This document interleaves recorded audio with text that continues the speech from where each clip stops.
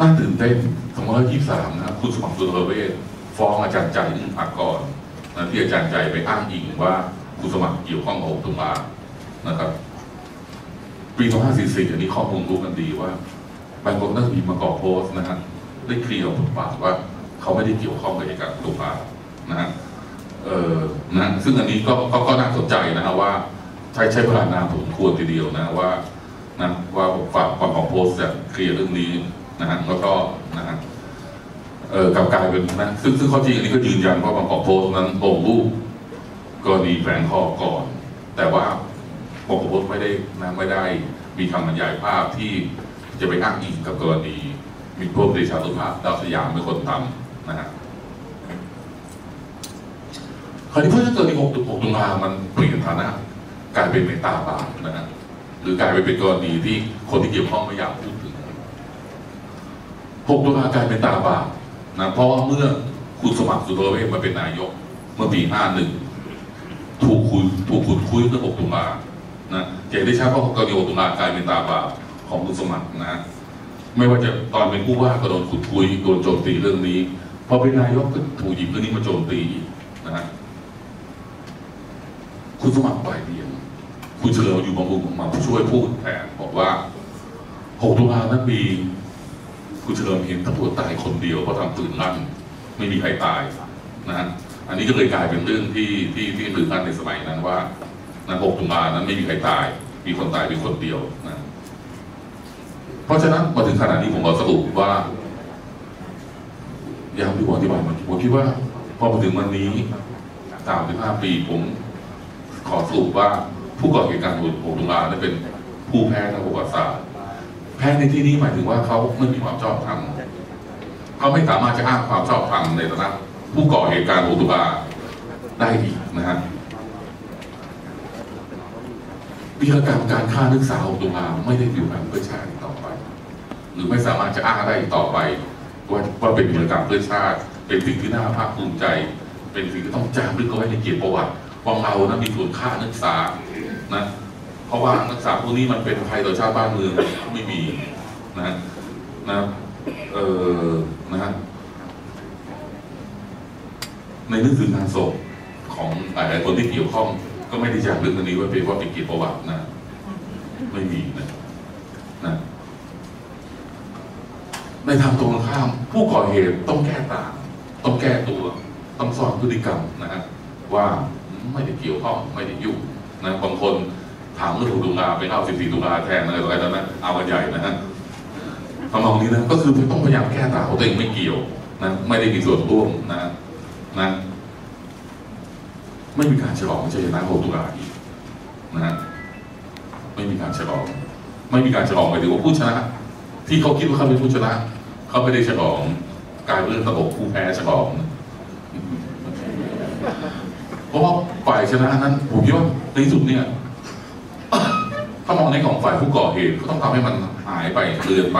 ลืมไปให้มากที่สุดนะ มันไม่ควรจะมีกรณีอันนี้แบบนี้เป็นจุดด่างอยู่ในประวัติศาสตร์ แต่มันไม่หาย อย่างที่บอกแล้วว่า ส่วนหนึ่งไม่หายเพราะมันมีภาคประชาชน มีคนแบบพวกเรานะมีนักศึกษา มีใครต่อใครแบบนี้นะมาฉลองทุกปี โดยเฉพาะอย่างยิ่งงาน 20 ปีของตุลาเมื่อปี 19 นะครับ เป็นการกลายเป็นงานสำคัญกลายเป็นหลักหมุดหลักหมายฟื้นตัวของกระบวนการเดือนเดือนตุลานะครับ มีการฉลองใหญ่ มีการนัดประกาศนะฮะนะฮะเป็นเป็นงานใหญ่ครั้งหนึ่งในประวัติศาสตร์ของคนเดือนตุลาของกระบวนการเดือนตุลากันเลยทีเดียวนะฮะที่จัดเมื่อ6ตุลาปี39นะฮะต่อมาปี 2544 ที่เราทราบกัน ก็มีการสร้างอนุสรณ์สถานที่เราไปวัดโอมังอากันเมื่อกี้นี้นะครับ สร้างเสร็จในปี2544นะฮะผมคิดว่ากระบวนการเหล่านี้เองท่านอดีตนักศึกษา6ตุลาอดีตหรือที่เราจะเรียกผมว่าคนตุลาอะไรทั้งหลายทั้งปวงนั้น มีตำแหน่งที่ที่ชัดเจน สามารถอ้างได้ที่โตได้ว่า เอ้ยฉันเป็นคนดือตุลาไม่ได้เป็นคนไม่ไม่ได้เป็นยวนไม่ได้เป็นคนที่ทำลายชาติบ้านเมืองอะไรต่ออะไรทำนองนี้นะครับนะไม่ต้องคอยหลบหลบซ่อนอะไรต่ออะไรทำนองนี้ไม่ต้องซ่อนอดีตนะครับ นะอันนี้มันสวนทางกันนะตลกนะขณะที่ฝ่ายคนที่ชนะ คนที่เป็นฝ่ายฆ่าต้องซ่อมอดีตต้องบอกเอ้ยฉันไม่เกี่ยว ฉันไม่ได้ทำฉันไอคนที่ถูกฆ่าไอคนที่ตกเป็นเหยื่อบอกเออพวกกูเองนะฮะนั่นมาสวนทางกันแปลกดีนะครับน่าตื่นเต้นนะหนังของตุลาสี่เก้าคนตุลาดับทำไมถึงดับนะครับ เอออันนี้เดี๋ยวเดี๋ยวนะผมคิดว่าอันนี้คงเป็นเรื่องใหญ่ที่ที่ต้อง discussion กันไปหลัง แต่ผมคิดว่าคนเดือนตุลากระแสหลักจำนวนมากนั้น ผมคิดว่าสิ้นบุสิ้นสิ้นสิ้นบทบาทนะหมดบทบาททางประวัติศาสตร์ไปด้วยนะพร้อมกับการรัฐประหารปี49นะครับบทบาทใหม่ ผมคิดว่าคนเสื้อแดงรับสืบทอดนะครับและผมคิดว่านะอันนี้เป็นเรื่องสำคัญ ผมคิดว่า อันนี้คือ ผมคิดว่าคนคนเสื้อแดงนั้น ขบวนการแสดงคนแสดงนั้นมีจิตวิญญาณมีลักษณะที่สามารถสืบทอดต่อเนื่องกับขบวนการปกตุลาได้มากกว่า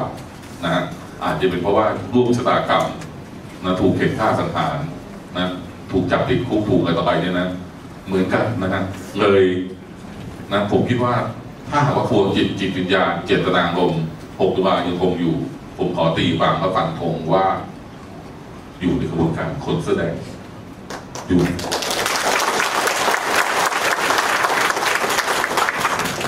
นะอยู่ในกระบวนกคนคนแสดงนะ ไม่ได้อยู่ในกระบวนการที่นะฮะไม่ได้อยู่ในกระบวนการที่ไม่คุณสมคิดที่ครองคุณเพราะพวกนั้นไม่ใช่นะฮะอันนั้นนะอันนั้นเป็นพวกที่ผมคิดว่าพวกนั้นเนี่ยถ้าพูดกันแบบตรงๆกับฟันธงพวกนั้นแหละนะฮะสื่อข้าอุดมการณ์ของอภิรักษ์จักรีนะครับ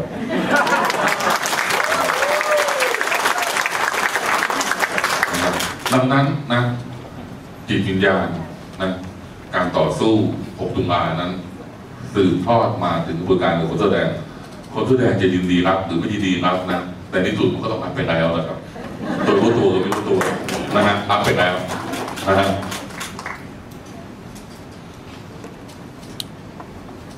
ประเด็นที่สี่นะครับ คือบทเรียนของตุลาจากอดีต ผมคิดว่าเราพูดกันเรื่องตุลาเราต้องพูดมาถึงปัจจุบันนะผมคิดว่าตุลาได้ให้บทเรียนสะท้อนข้อเท็จจริงที่ไม่เปลี่ยนสลับสังคมไทยอย่างน้อยใน 35 ปีนะครับ จุดที่ไม่เปลี่ยน คือหนึ่งนะอันนี้ผมย้ำเสมอว่าเป็นวิธีน่าแปลกใจว่าสังคมไทยชอบอ้างตัวเองเป็นเมืองพุทธแต่เป็นเมืองพุทธที่ไม่มีราก อหิงสาธรรม ชนชั้นปกครองไทยจึงพร้อมที่จะใช้ความรุนแรงกับประชาชนเสมอ การเข็นฆ่าประชาชนจึงเกิดขึ้นได้อีกครั้งแล้วครั้งเล่าครั้งแล้วครั้งเล่านะ 6 ตุลาจึงไม่ได้เป็นครั้งสุดท้ายที่นะชนชั้นนำชนชั้นปกครองฆ่าประชาชนนะฮะทำไมจึงเกิดการฆ่า ทางนั้นเราต้องประสูติย้อนหลังไปว่าเพราะลักษณะพิเศษของสังคมไทยที่แตกต่างจากประเทศอื่น คือการมีชนชั้นนำที่เอามาหยิบเยี่ยมโห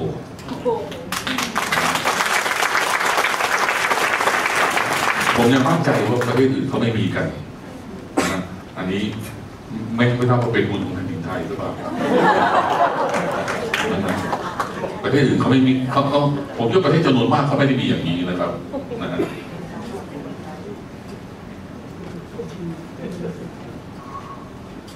ช นชั้นกลางไทยก็